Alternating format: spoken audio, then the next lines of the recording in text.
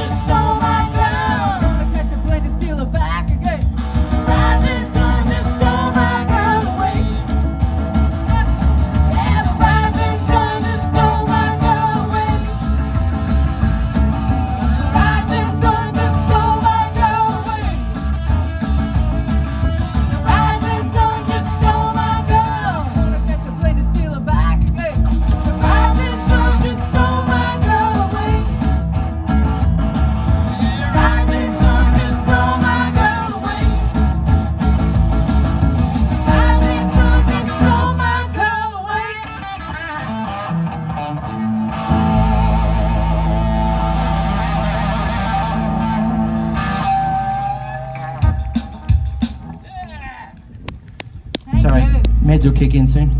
Oh, well, thank you. All right, we're going to take a little break now, give our voice, or give her voice a rest. Sun's come out.